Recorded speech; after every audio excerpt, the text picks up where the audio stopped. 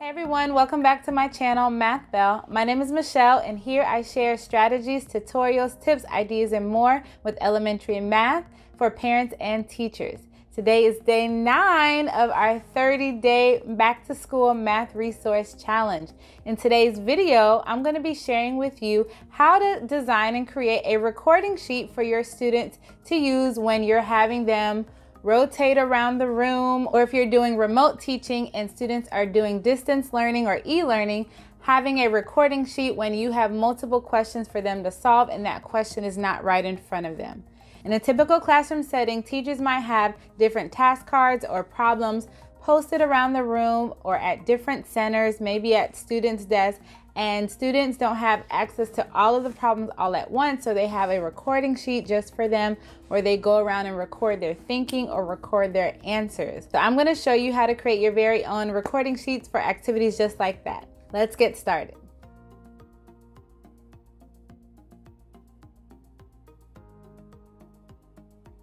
I'm going to show you how to make your very own recording sheets for your students if you have them working on a game, activity, somewhere where they're looking at task cards or maybe rotating around the room where you don't have multiple copies of the question or task that they're solving, but you want them to show their work or to write down their answers individually. So we're to look at three different examples of a recording sheet. So here's one, two with shorter lines, and then three where you have more space for them to show their work let's get started. So we're gonna go to File and start a new presentation.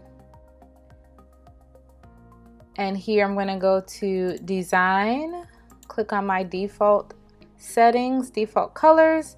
I'm gonna go to Slide Size, Page Setup, switch my width to eight and a half inches and my height to 11, and then press Scale Up. I'm going to select the entire page and delete those default text boxes. So now what I'm going to do is start by inserting a text box to have their name at the top and I'm going to change the font and the size to a font that I like. Regular and let's do a 24 size. I'm just going to put name and then a long line I'm using my keyboard, so I'm pressing the shift and the dash key. When you hit shift, it turns the dash key into an underscore. So that's going to be there for their name. I'm going to duplicate that so I can put my title, get rid of the name or get rid of that line, and then I'm going to change this. And this can be whatever activity you're working on. You could just put recording sheet so you can make multiple copies, but if you want it to be specific to something, so let's say we have students who are working on adding two digit numbers together, and this is a review, and this is the recording sheet for that review. So to add a little pop, let's make this bold, center it, and then make the size a little bit bigger. And then the recording sheet we can put there in the middle. So that works for me. There's the title. Now, as far as the spaces for them to put their answers, you can add a new text box or you could have copied the one you already had. Let's change our font and then up our size. So this one's going to be number one, and then I'm just going to put a long line using the same technique that I explained before, the shift button and the dash button together. So there's going to be their first answer. Let's move that over just a little bit and we can make this a little longer. And then I'm going to take this text box, right click.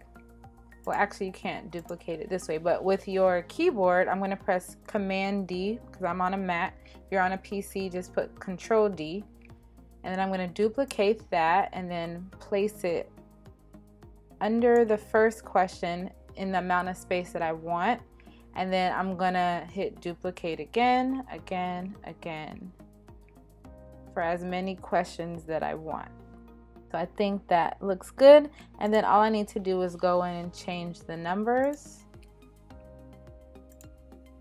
That looks good. Let's bring this in a little bit.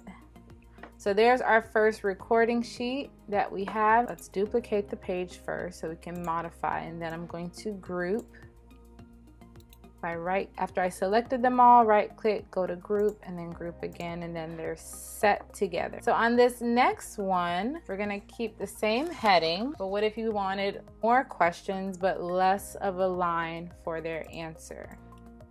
So I'm gonna get rid of those and then adjust the line here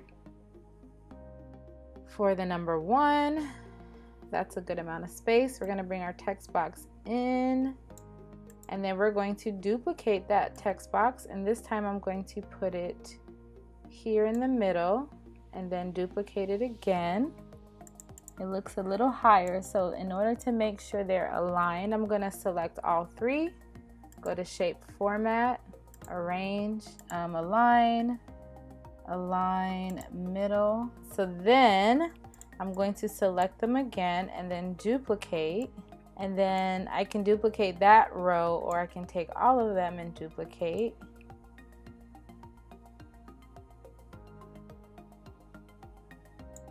And then I'm going to duplicate one more time. I think I want more space between them all so I'm going to go back to the first duplicate duplication. So I just undo I hit undo many times to go back so let's get rid of these and then select this and hit duplicate one more time. Let's do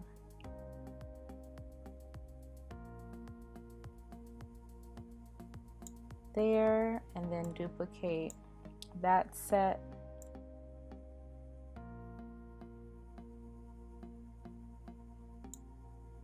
and then duplicate that set all right, so now we're just going to adjust our numbers.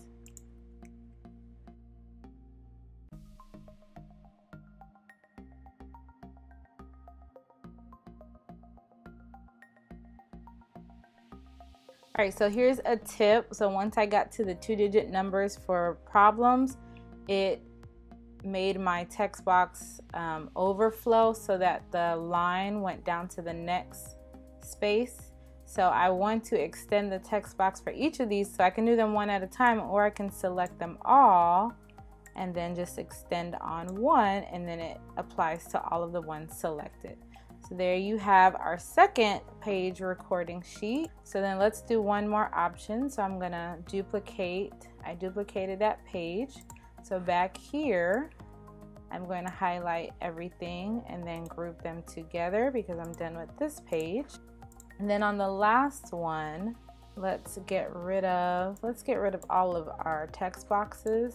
We're going to insert a shape and I want it to be a curved shape or a curved line. All right, so now I'm gonna go up here to shape format and I'm gonna put no fill and then for the line I want it to be black. You can make your line thicker than that if you like. And then I just want to add in a text box for the number. And we're going to, you can leave the font, change the font, it's up to you. I'm going to put number one, center, bring it in. And then I'm going to actually put mine inside of the box or the square, or you can leave yours outside. Whatever pleases your eye. So I'm to put mine in there. And then I'm to select both of them together and group. And then I'm to duplicate it, bring it over, and then change the number and then I'm going to select both and then duplicate those and then bring it down and then just change my numbers. And there's our third example of a recording sheet. You can do a variety of things in a variety of ways with recording sheets based on the needs of the task or activity you're having your students do. So the last thing we need to do is save our PowerPoint and we're going to save that. So then I'm going to go to file and export it as a PDF. Remember the title stays the same, it's just a PDF now and then export. It's done exporting. I'm going to pull it up in my folder and look at it as a PDF. And then get ready to print it out for my students.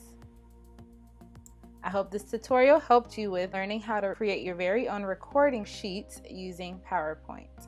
Okay, day nine is over. Now you know how to create recording sheets. You can add that to your math resource toolkit. And remember, if you want to make your recording sheets digital, check out this video here on taking your PDFs from printable to digital in minutes. If you found this video helpful, please like it by hitting the thumbs up button, share it, and subscribe to my channel. And if you want to be notified the next time a video is posted, please hit that notification button.